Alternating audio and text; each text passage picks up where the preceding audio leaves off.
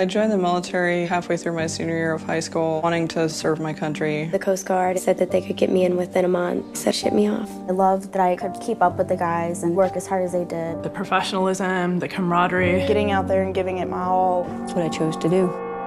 Everything changed the day that I was raped.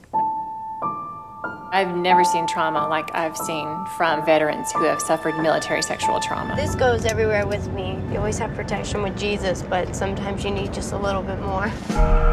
Most Americans assume there is access to a system of justice. You'd see a guy get five years for drugs and two weeks for rape. They let this man get away with everything but murder. They gave him Military Professional of the Year award during the rape investigation. It was a laughing matter. He says, You're the third girl to report rape this week. You guys like all in cahoots? You think this is a game?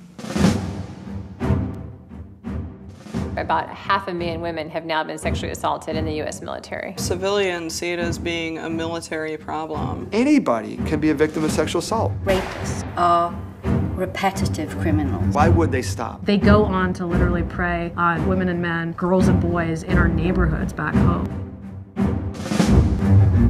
It's very difficult to do a story on the most powerful institution in the world. The Department of Defense has a history of covering up sexual offense problems. I don't know who you think elected you to defy the Congress of the United States. What is it you're trying to hide?